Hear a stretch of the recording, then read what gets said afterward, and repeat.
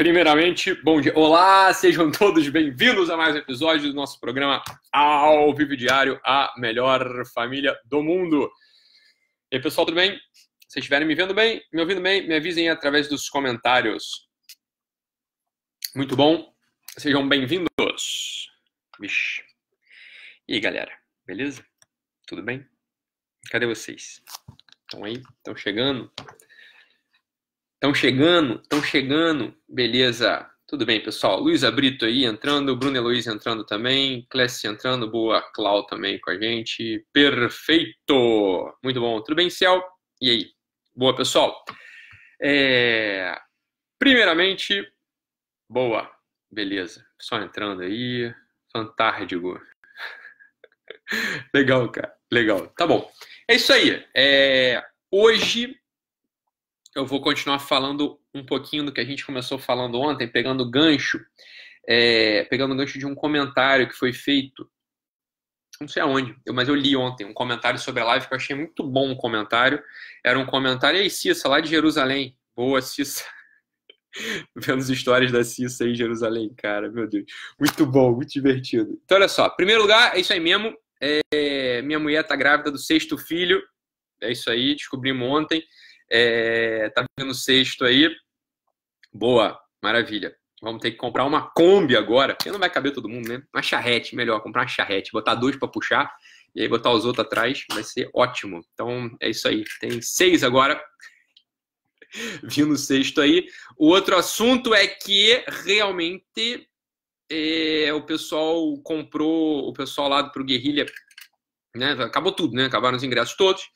Agora, vocês são um sortudo da porra, porque deu algum bug lá no sistema que não, acho que tem alguns cartões lá que não passaram, sei lá o que aconteceu, depois eu aviso para vocês, tá? Mas o fato é que acabou tudo, vai acabar tudo, se não ficar atento, o negócio vai embora. Então era isso aí mesmo. O assunto lá do Guerrilha, vocês estão sabendo, Guerrilha de São Paulo, né? O nosso encontro que vai ter lá em São Paulo, vai ser top, vai ser ótimo, vai ser genial. É, a gente mandou o e-mail e puf, acabou tudo em 30 minutos, né? Acabou tudo em 30 minutos. Foi...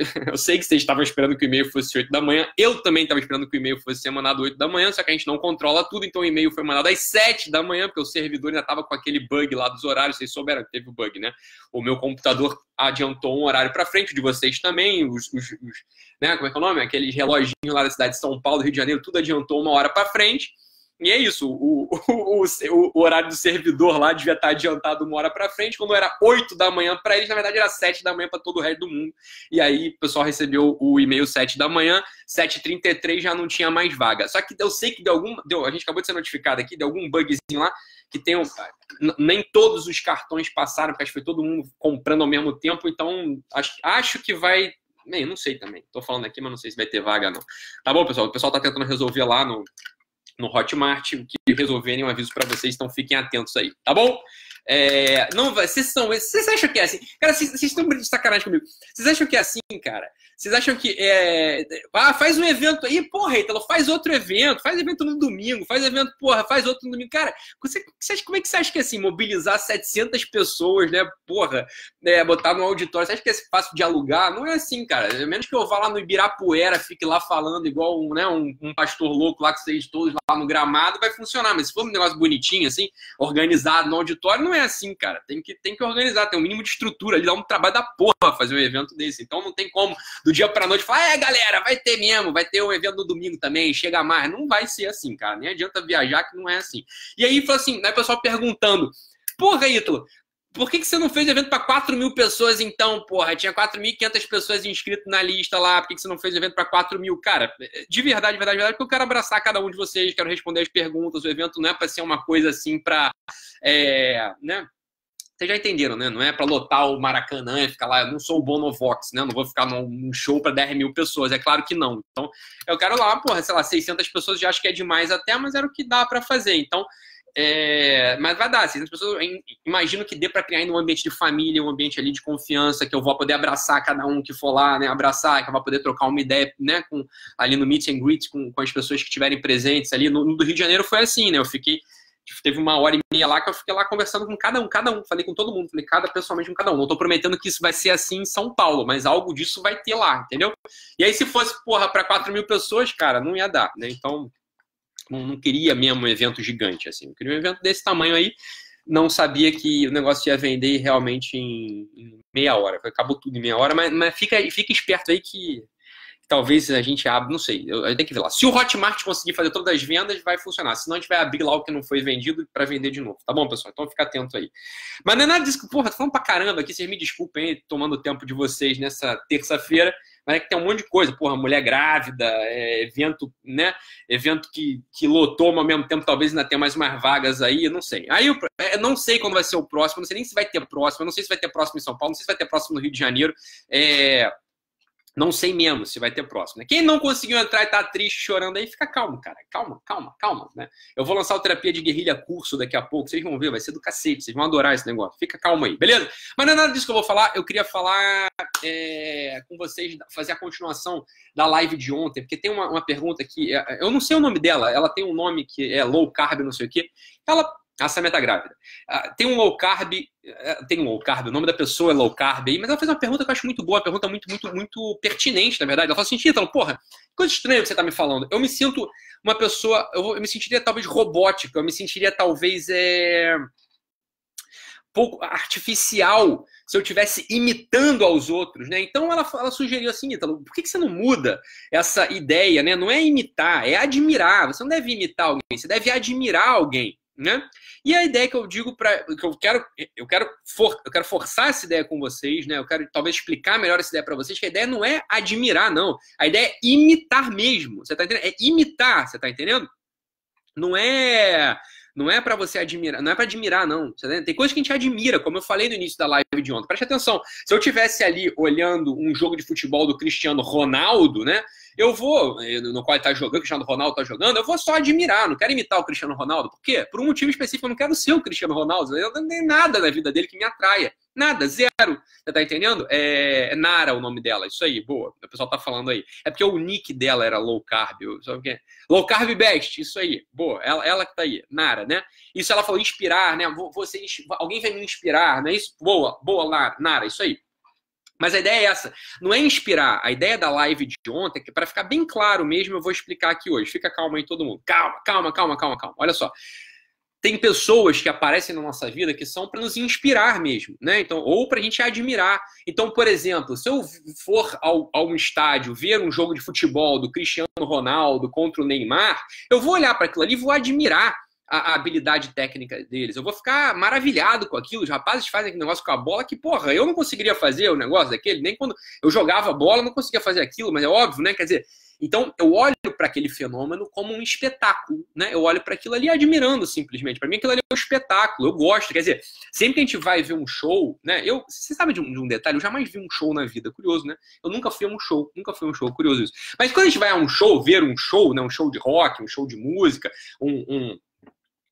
um espetáculo de teatro, a gente olha para aquilo ali e a gente fica maravilhado, né? A gente olha para aquilo ali como quem olha um espetáculo, né? Aquilo ali entra no nosso corpo de tal modo que a gente não queira exatamente imitar, né? Eu não quero imitar o ator, eu não quero ser, eu não quero ser Hamlet, eu não quero ser Otelo, na é verdade, ele só está encenando um papel que vai ter uma certa função para mim, né? Vai ter uma, vai ter uma função, vai ter uma função para mim. É, mas eu não tô eu não quero imitá-lo, eu quero admirar, eu quero me maravilhar, eu vou, ficar, eu vou me inspirar pelas coisas que ele fala. Então preste atenção, Nara. É verdade. Existem alguma, alguns movimentos na nossa vida que a gente tem que ser, a gente vai fazer motivado pela inspiração. Algumas pessoas aparecem na nossa vida para que nos inspirem mesmo, ou para gente, a gente admirar.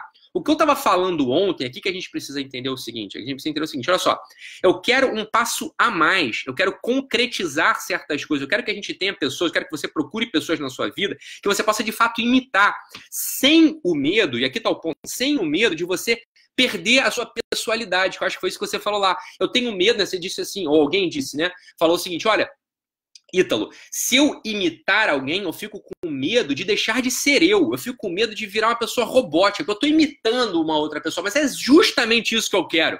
Eu quero justamente isso. Eu quero que a gente, né, eu quero que vocês, e eu tenho essas pessoas que eu imito de verdade, eu quero que faça o seguinte: olha só, tem pessoas que têm que ter uma, uma incisão, uma contundência maior na nossa biografia. De tal modo que, de fato, a gente deixe de ser a gente. Você está entendendo?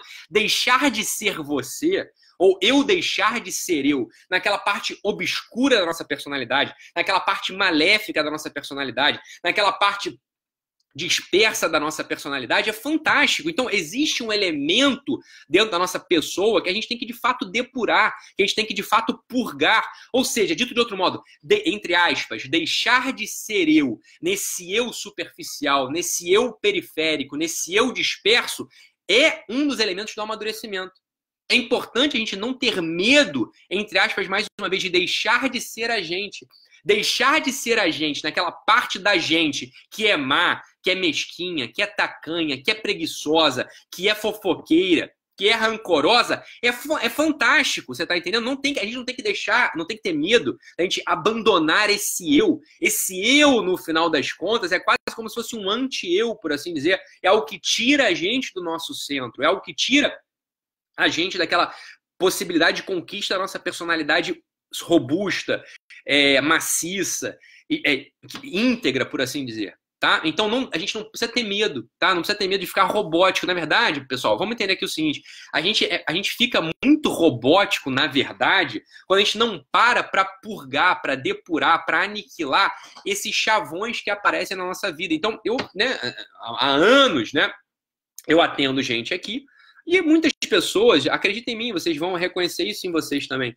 Muitas pessoas, na verdade, 80% do que elas falam, veja bem, do que elas falam, não veio da cabeça delas, não veio do coração delas. Elas estão imitando a Globo, elas estão imitando o que elas ouviram no rádio, elas estão imitando ali uma cena que elas viram na Malhação quando elas tinham 13 anos, elas estão pensando com categorias que elas jamais pararam para ver de onde elas vinham, de onde vinham, você está entendendo? Então veja bem, no pau da goiaba, no limite, você está sempre imitando alguém. A gente está 80% dos nossos atos são atos de macaqueação.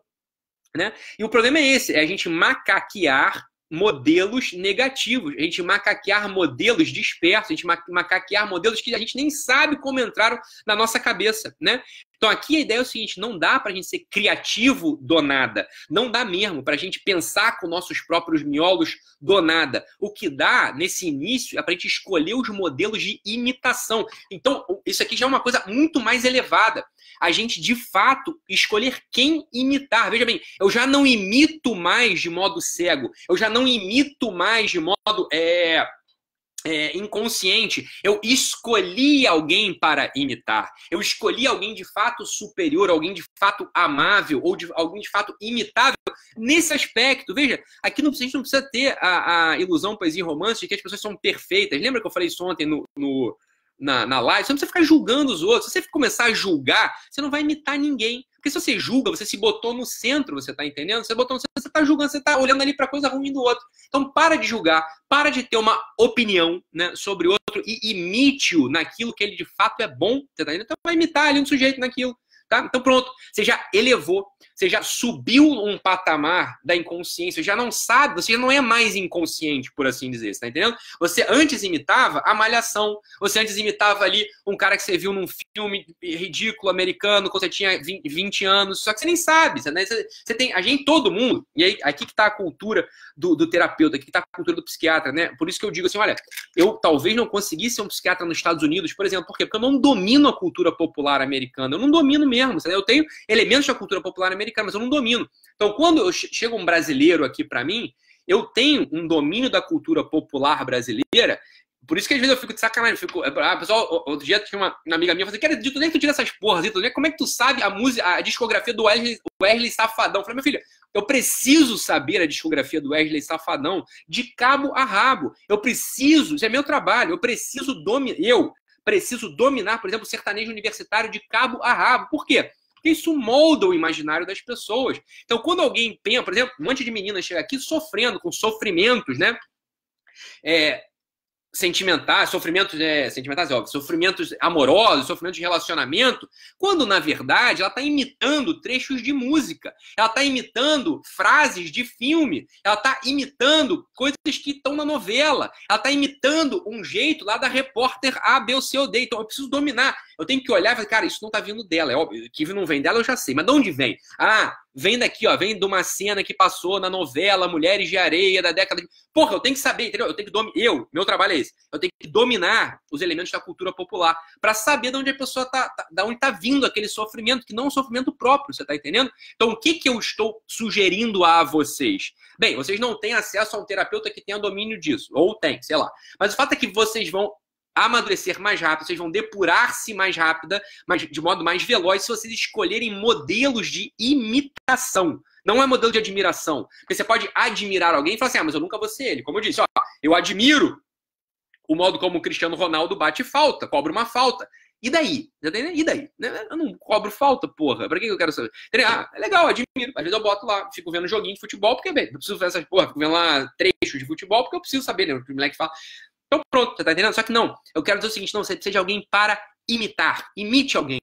Não tem problema, você vai imitar a pessoa, não é que não tem problema, isso é um truque, você tá entendendo? Isso é um truque de amadurecimento psicológico, isso é um truque de amadurecimento biográfico. Escolha pessoas imitáveis e imite-as, imite-as, né, no, o que, imite o que elas leem, imite o modo como elas tocam a vida delas, imite o modo como elas se comportam, imite, imite, imite sem medo. Você não vai se despersonalizar, você vai tomar consciência do, do, processo de personalização. Você está entendendo? E aí algumas pessoas eu vi escrever aqui, ah, eu imito a Cristo, eu imito a Virgem Maria. Eu, não vai, você não imita ele. Presta atenção, você não imita, você quer imitar eles, mas você não imita. Esses, esses, esses, esses ícones você não, não, não consegue imitar, porque estão distantes. Ítalo, você é um homem sem fé. Como estão distantes? Eles estão ao, ao alcance da leitura da Bíblia, não estão, não estão. Você precisa da mediação de um outro elemento, você está entendendo? Você precisa da mediação de um outro ser humano, de carne e osso. É simples assim, você está entendendo? O próprio, se você quer falar aí da, da Bíblia, ó, o próprio apóstolo Paulo fala, bicho, é, é, é, difícil vocês imitar Cristo, mas imita a mim, é melhor, imita, me imita, é melhor. Porque eu tô aqui perto, entendeu? Ele mesmo fala assim, sejam meus imitadores. Eu não tô inventando porra nenhuma, é assim que funciona o negócio há anos, você tá entendendo? É assim que o negócio funciona. Então, olha só, só que o apóstolo Paulo também está meio longe. Como é que você vai imitar ele? Não é mais difícil. Então tenta achar pessoas do teu círculo de convivência, ou pessoas que você tenha mais acesso à biografia deles. Aqui entra um pouco aquilo que eu falei da Assembleia de Voz. Não dá para falar mais devagar, porque tem pouco tempo. Eu vou falar rápido mesmo. Depois põe no, no, no devagar aí. Então, né, vê de novo e põe em 0,75% da velocidade. Então, essa aqui é a ideia. Você tá entendendo? A ideia é essa. Vamos imitar. É para imitar. Você entendeu isso? Você entendeu essa coisa que eu, eu tô dizendo da imitação? Que a imitação não te despersonaliza, pelo contrário, a imitação, a imitação, ela faz com que você tome posse do teu, do teu mecanismo de personalização. Ela te dá uma posse racional, uma posse uma consciente do teu processo de personalização, tá? E ah, Ítalo, mas e como é que isso aqui se relaciona com a inveja? Ora, isso é o que mata a inveja. Isso é o elemento que extermina o processo da inveja. É justamente isso que acaba com a inveja. Ora, se eu voluntariamente escolhi imitar alguém, eu já limpei uma parte do meu coração, você tá entendendo? Eu limpei uma parte do meu coração que está julgando ao outro. Eu, eu descobri o seguinte, olha, para de ficar buscando defeito nos outros, cara. Porque todo mundo tem defeito, porra. Quem não sabe disso? Quem não tem defeito? Todo mundo tem defeito. Então, se você buscar defeito em alguém, você vai achar, cara. Entendeu? Isso é burrice. É burrice ficar buscando defeito. Preste atenção. O invejoso, ele faz o seguinte. O que, que o invejoso faz? Ele faz assim, olha, eu até posso imitar o doutor Ítalo, mas também. Como assim, mas também, meu filho? Você não sabe que eu tenho defeito? Você não sabe que eu sou um filho da puta também igual você? Você não sabe que eu sou um preguiçoso filho da puta igual você? Eu sou isso tudo também. Mas eu luto contra isso, você tá entendendo? É, do jeito que você também deve lutar. Espero que você lute contra essa porra. Então, assim, já tô dizendo pra vocês, cara, é óbvio, é óbvio, cacete, que eu tenho defeito, meu cacetinho. É óbvio que eu tenho defeito. Você sabe disso, porra. Sabe por que você sabe que eu tenho defeito? Porque eu sou um ser humano, caralho. Eu sou um ser humano, você tá entendendo? O ser humano tem defeito. Por definição, o ser humano tem defeito. Então, eu tenho defeito, o padeiro tem defeito, minha secretária tem defeito, você tem uma porrada de defeito, minha mulher tem alguns defeitos também. Todo mundo tem defeito, porra. Todo mundo tem defeito. Então, para com esse negócio. Você fica buscando, né? Buscar defeito dos outros é o movimento da inveja. O que que isso significa? Significa o seguinte, cara, eu não tolero que alguém seja melhor do que eu. Eu não tolero olhar para o melhor da pessoa. Então, eu preciso botar no, na balança um contrapeso do pior. O que acontece é que quando você faz isso psicologicamente, você se diminui. Quando você faz isso, você psicologicamente, você não consegue imitar outra pessoa. Quando você faz isso, você psicologicamente se contamina com o elemento da inveja. Então, para de buscar defeito nos outros, você tá entendendo? Para de ficar buscando defeito nos outros, só vai te ferrar. E só vai ferrar você. Não faça isso jamais, tá? Não faça.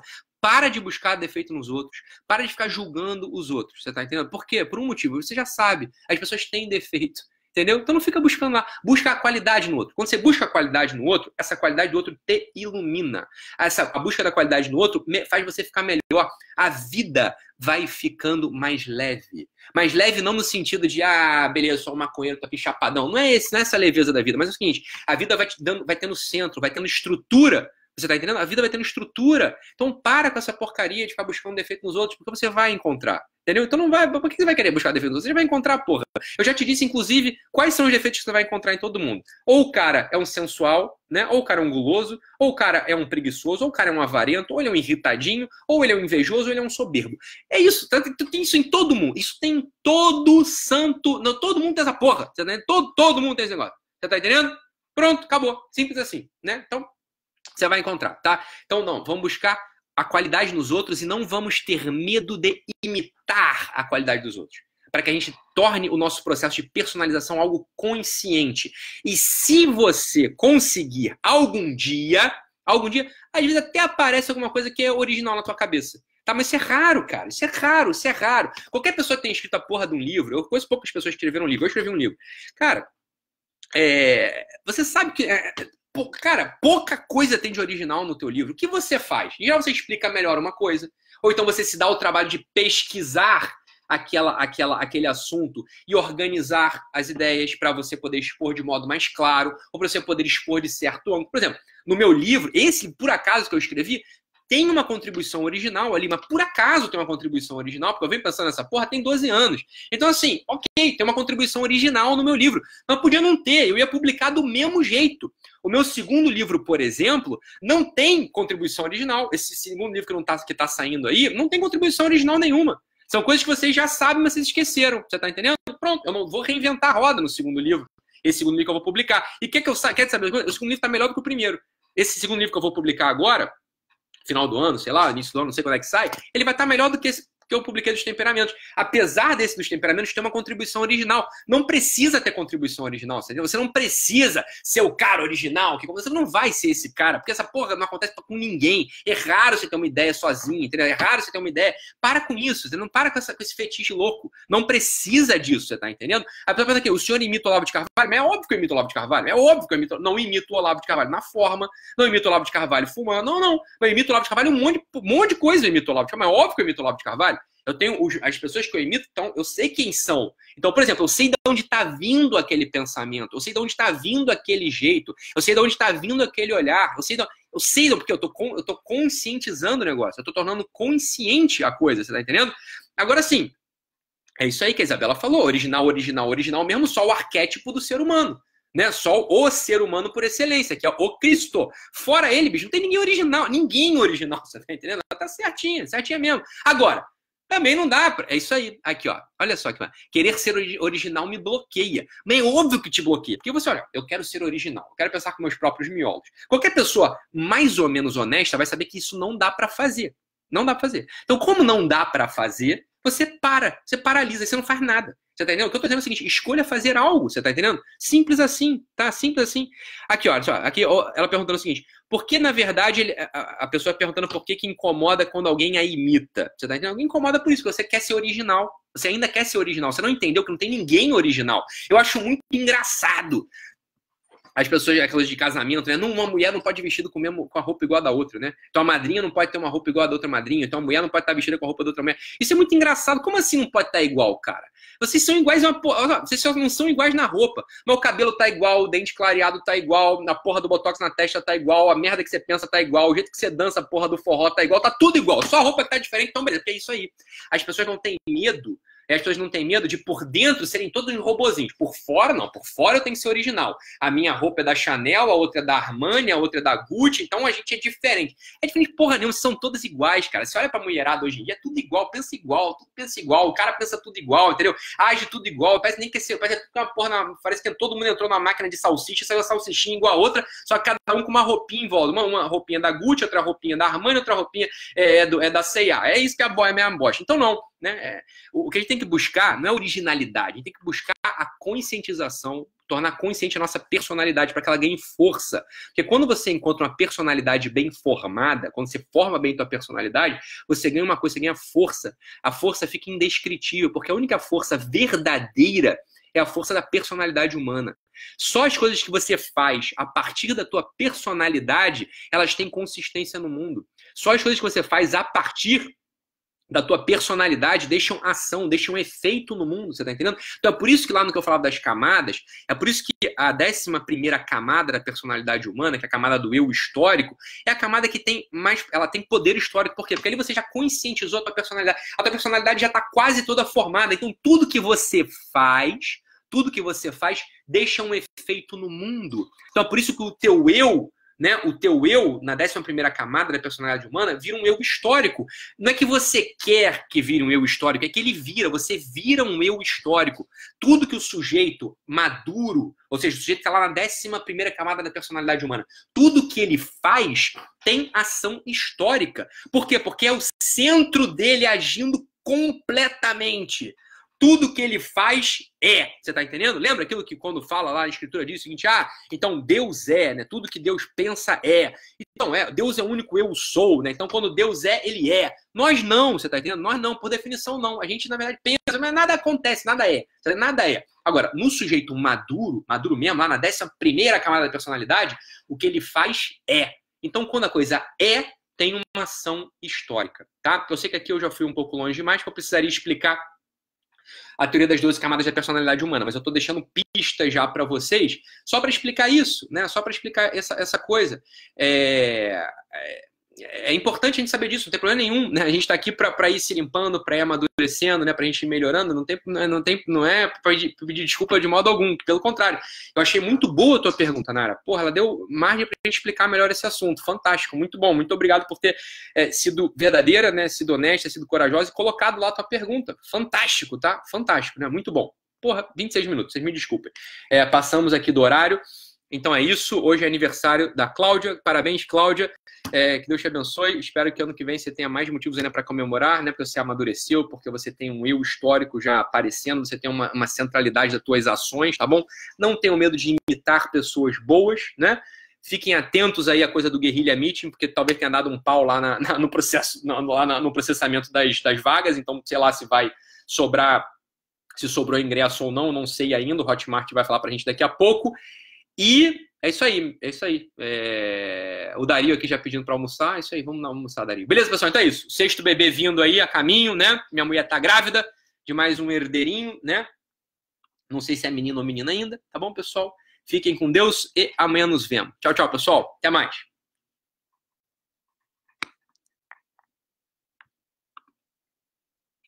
Travou.